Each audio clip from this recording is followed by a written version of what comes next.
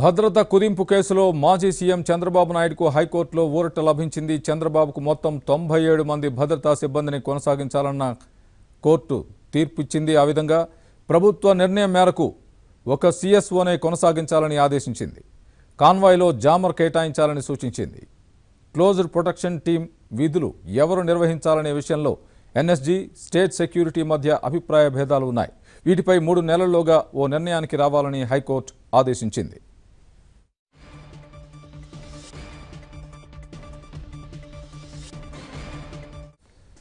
భద్రత కుదింపు కేసుకు సంబంధించి మరింత సమాచారాన్ని మా ఏపీ బ్యూరో చీఫ్ రామారావు అడిగి మరింత సమాచారం తెలుసుకుందాం. రామారావు చెప్పండి భద్రత కుదింపు కేసులో హైకోర్టు తీర్పుపై మీ దగ్గరున్న తాజా సమాచారం ఏంటి? ఆ తీర్పులో ఏముంది?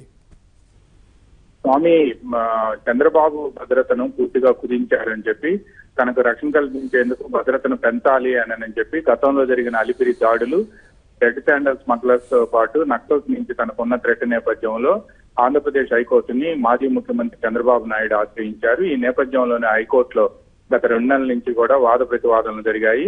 చంద్రబాబుకి కేవలం వన్ ప్లస్ వన్ భద్రత కల్పిస్తున్నారు అని కూడా అందులో పేర్కొన్నారు. ఈ నేపథ్యంలోనే హైకోర్టు ఇరుపక్షాల వాదనలు విన్న తర్వాత ఈ రోజు తీర్పును వెలువరించింది. దాదాపుగా వారం రోజుల క్రితమే ఈ వాదనలు పూర్తయినప్పటికీ కూడా తీర్పును రిజర్వ్ చేసింది.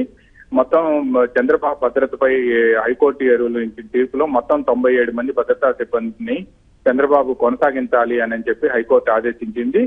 ప్రభుత్వ నిర్ణయం మేరకు ఒక సిఎస్ఓను మాత్రమే కొనసాగించాలి. మాజీ ముఖ్యమంత్రి హోదాలో ఉన్న వ్యక్తికి ఒక సిఎస్ఓని మాత్రమే కొనసాగిస్తాము అని చెప్పి ప్రభుత్వం పేర్కొంది.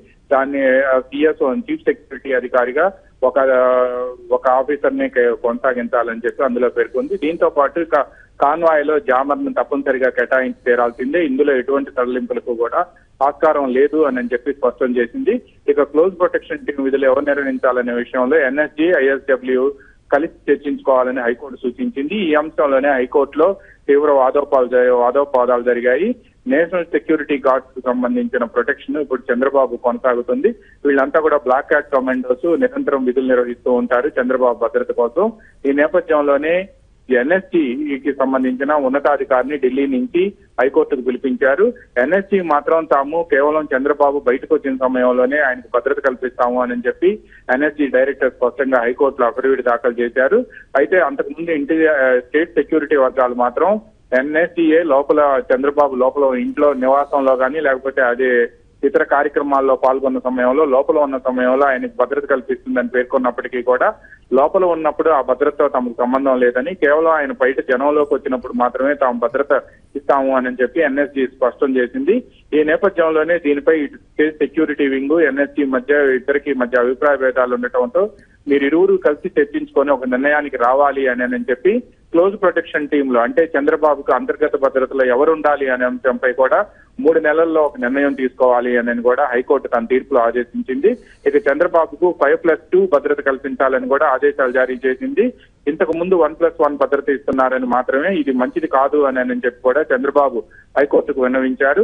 తనపై అలిపిరిలో జరిగిన దాడి అదేవిధంగా రెడ్ రెడ్ శాండల్ స్మగ్లర్స్ నుంచి ఉన్న థ్రెట్తో పాటు నక్సల్స్ నుంచి కూడా థ్రెట్ ఉంది అని అని చెప్పి ఆయన ఈ సందర్భంగా పేర్కొన్నారు. ప్రతిపక్ష నేతగా ఉన్న సమయంలో పలు ప్రజల్లోకి వెళ్ళాల్సి వస్తుంది అని అని చెప్పి పైగా తనను కలుసుకునేందుకు ప్రతినిత్యం వేలాది మంది వస్తున్నారని ఆ సమయంలో తనకు భద్రత అనేది చాలా ముఖ్యము అని కూడా ఈ సందర్భంగా చంద్రబాబు హైకోర్టులో వేసిన పిటిషన్లో పేర్కొన్నారు. ఈ నేపథ్యంలోనే హైకోర్టు ఈ రోజు ఈ తీర్పు వెలువరించింది.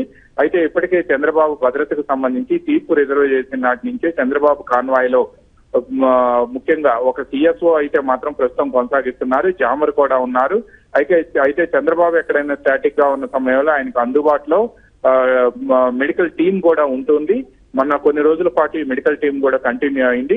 అయితే ఇప్పుడు హైకోర్టు ఇచ్చిన తీర్పులో సిపిటి అంటే క్లోజ్ ప్రొటెక్షన్ టీమ్లో ఎవరు విధులు నిర్వహించాలనే విషయంపై అటు నేషనల్ సెక్యూరిటీ గార్డ్స్ ఇటు ఇంటెలిజెన్స్ సెక్యూరిటీ వింగ్ మధ్య హైకోర్టు వాదనలో భేదాభిప్రాయాలు ఉండటంతో వీరిరువురు కలిసి ఒక నిర్ణయానికి రావాలి అని చెప్పి కూడా హైకోర్టు ఆదేశించింది. దీనికి సంబంధించి కూడా తమకు సమాచారం తెలియజేయాలని కోరింది. రాబోయే మూడు నెలల్లోపు ఈ నిర్ణయం తీసుకొని భద్రతను కట్టుదిట్టం చేయాలని కూడా హైకోర్టు ఆదేశించింది స్వామి.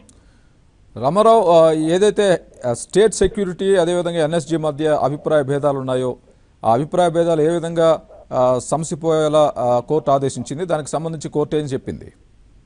అయితే చంద్రబాబు అంతర్గత భద్రత ముఖ్యంగా ఆయన ఇంట్లో ఉన్న సమయంలో కానీ లేదైనా ఆ కార్యక్రమాల కార్యక్రమాల్లో ఎక్కడైనా లోపల ఉన్న సమయంలో కానీ ఎన్ఎస్డిఏ చూసుకుంటుంది అని నేను చెప్పి రాష్ట్ర భద్రతా వర్గాలు చెప్పాయి హైకోర్టులో చెప్పాయి. అయితే ఎన్ఎస్సి దీనికి సంబంధించి చంద్రబాబు తరఫున పిటిషన్ దాఖలు చేసిన న్యాయవాదులు తీవ్ర అభ్యంతరం వ్యక్తం చేశారు. మాజీ అడ్వకేట్ జనరల్ దమ్మాలపాటి శ్రీనివాస్తో పాటు మరికొందరు న్యాయవాదులు కూడా చంద్రబాబు తరఫున ఈ పిటిషన్ దాఖలు చేశారు. ఈ సమయంలో ఎన్ఎస్జీ అధికారులను పిలిపించాలి అని అని చెప్పి వాళ్ళు కోర్టుకు విన్నవించడంతో ఆ మేరకు కోర్టు ఎన్ఎస్జీ అధికారులను పిలిపించింది. ఎన్ఎస్జీ అధికారులు కోర్టుకు చేరుకొని తాము చంద్రబాబు బయటకు వచ్చిన సమయంలో మాత్రమే భద్రత కల్పిస్తామని ఎన్ఎస్జీ బ్లూ బుక్లో అది స్పష్టంగా ఉంది అని అని చెప్పి అంతర్గత భద్రత మాత్రం రాష్ట్ర స్థాయి సిబ్బంది మాత్రమే అంటే state security wing intelligence security wing మాత్రమే చూసుకోవాలి అని అని కూడా వాళ్ళు స్పష్టంగా చెప్పారు. తమ వద్ద ఉన్న తమ బ్లూ బుక్లో ఉన్న ఆధారాలను కూడా వాళ్ళు హైకోర్టుకు విన్నవించడంతో ఈ నేపథ్యంలో హైకోర్టు చంద్రబాబు అంతర్గత భద్రత అంటే సిపిటి క్లోజ్ ప్రొటెక్షన్ టీమ్లో ఎవరుండాలి అనే అంశంపై ఇరువురు కలిసి చర్చించుకోవాలని చెప్పి ఆదేశాలు జారీ చేసింది. అయితే ఎన్ఎస్జీ మాత్రం జాతీయ స్థాయిలో పలువురు నేతలకు భద్రత కల్పిస్తూ ఉంటుంది. ఇటీవల జాతీయ స్థాయిలో భద్రతకు సంబంధించి కూడా ఎన్ఎస్జీ భద్రత కల్పించే ఎన్ఎస్జీ ప్రొటెక్టీవ్స్ ఎవరైతే ఉన్నారో వాళ్ళందరికీ సంబంధించిన భద్రతపై కూడా జాతీయ స్థాయిలో ఒక సమీక్ష జరిగింది. ఆ సమీక్షలో చాలా మందికి భద్రత తొలగించారు కానీ చంద్రబాబుకు మాత్రం భద్రతలో ఎటువంటి మార్పులు చేయలేదు. ఇప్పటి వరకు ఆయనకి ఏ భ- ఏ ఏ ఏ భద్రత అయితే కొనసాగుతుందో అదే భద్రతను కొనసాగించాలి అని కూడా జాతీయ స్థాయిలో జరిగిన సమీక్షలో ఎన్ఎస్జీ సమీక్షలో నిర్ణయం తీసుకున్నారు. ఆ జాతీయ అంతర్గత భద్రత పైగా విఐపీల భద్రతకు సంబంధించిన రివ్యూ కమిటీ ఈ మేరకు ఆదేశాలు జారీ చేసింది. దీనిపై పత్రికల్లోనూ ప్రసార సాధనాల్లో వచ్చిన వార్తలను కూడా ఈ సందర్భంగా చంద్రబాబు న్యాయవాదులు హైకోర్టులో ఉటంకించారు. అందువల్లనే క్లోజ్ ప్రొటెక్షన్ టీమ్లో ఎన్ఎస్జీకి ఐఎస్డబ్ల్యూ ఇద్దరిలో ఎవరుండాలనే అంశంపై కూడా మూడు నెలల్లో ఒక నిర్ణయానికి రావాలి అని చెప్పి వీరిరువురు మధ్య ఉన్న అభిప్రాయ భేదాలను తొలగించి వివిఐపికి భద్రత కల్పించే విషయంలో కట్టుదిట్టంగా వ్యవహరించాలి అని చెప్పి కూడా హైకోర్టు ఆదేశాలు జారీ చేసింది. గతంలో జరిగిన దాడుల నేపథ్యంలో ఇటువంటి నిర్ణయం అవసరం అని కూడా హైకోర్టుకి చంద్రబాబు తరపు న్యాయవాదులు విజ్ఞప్తి చేశారు. ఈ నేపథ్యంలోనే చంద్రబాబు సెక్యూరిటీకి సంబంధించి ఈ రోజు సమగ్రమైన తీర్పును హైకోర్టు వెలువరించింది. చీఫ్ జస్టిస్ ఆధ్వర్యంలో ఉన్న బెంచ్ ఈ మేరకు తీర్పును వెలువరించింది. అయితే ఈ రోజు నుంచి కూడా చంద్రబాబు సెక్యూరిటీకి సంబంధించి రాష్ట్ర స్థాయి పోలీసు అధికారులు అదేవిధంగా రాష్ట్ర ప్రభుత్వం ఏ విధంగా స్పందిస్తుందనేది ఆసక్తికరంగా మారింది. ఇప్పుడు ప్రస్తుతం సిపిటిలో ఎవరుండాలనే అంశంపై కూడా పెద్ద చర్చగా మారింది. రెండు రెండు మూడు నెలల్లో ఈ రెండు వర్గాలు అంటే అటు ఎన్ఎస్జీ ఇటు ఐఎస్డబ్ల్యూ రెండు కలిసి ఒక నిర్ణయానికి రావాలని కోర్టు ఆదేశించడంతో దీనిపై త్వరలోనే ప్రభుత్వం ఒక నిర్ణయం తీసుకునే అవకాశాలు కనిపిస్తూ ఉన్నాయి. Swami. Right Ramarao thanks for the update